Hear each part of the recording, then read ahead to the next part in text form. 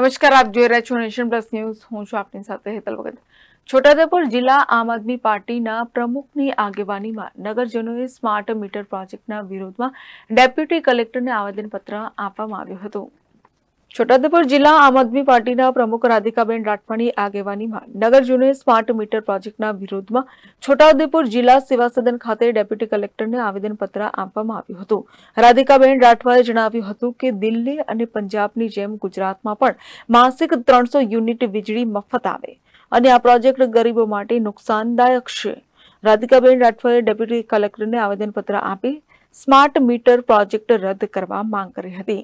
આજરોજ Chhotaudepur collector office Aam Aadmi party તરફથી smart meter જે સરકારે લાગુ કર્યું છે એના વિરુદ્ધમાં મેં આવેદનપત્ર આપવા આવ્યા હતા.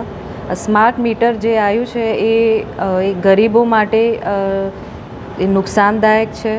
અમે એ પણ રજૂઆત કરવા માંગીએ છીએ કે ત્રણ, દિલ્હીમાં જેવી રીતે ત્રણસો મીટર ફ્રી વીજળી આપે છે, એવી રીતે ગુજરાતમાં પણ ત્રણસો યુનિટ વીજળી આપે. સ્માર્ટ મીટર એટલે પ્રાઇવેટ કંપનીઝને જ ફાયદો થાય છે. આમાં ગરીબ પ્રજા પીસાય છે. જે રીતે યુનિટ્સ અને જેટલા લાખો રૂપિયા હમણાં આપણે જોયું કે એમને જે બિલ આવ્યું છે, એ ગરીબ જનતા ક્યારથી ભરશે? અને વીજળી જે છે, એ જરૂરિયાતની વસ્તુ છે. ફોન જેમ તમે એને રિચાર્જ કરાવો, ફોન આજે ચાલે, ના ચાલે નેટવર્ક આવે, ના આવે થાય છે પણ વીજળી તો જરૂરિયાતની વસ્તુ છે તે દિવસે અને રાતે જરૂરી છે. જેમને ના ફાવે ને તાત્કાલિક વીજળી પતી જાય તો એ ગરીબ માણસ કે એમરજન્સીમાં એ જનતા કે પ્રજા શું કરશે?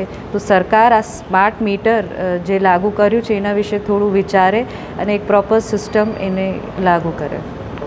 Rehan Patel nation plus news Chhotaudepur. સમાચારોના સતત અપડેટ મેળવવા માટે અમારી નેશન પ્લસ ન્યૂઝની યુટ્યુબ ચેનલને સબસ્ક્રાઇબ કરો. બેલ આઇકન દબાવો અને જોડાયેલા રહો ફેસબુક ઇન્સ્ટાગ્રામ અને ટ્વિટર પર.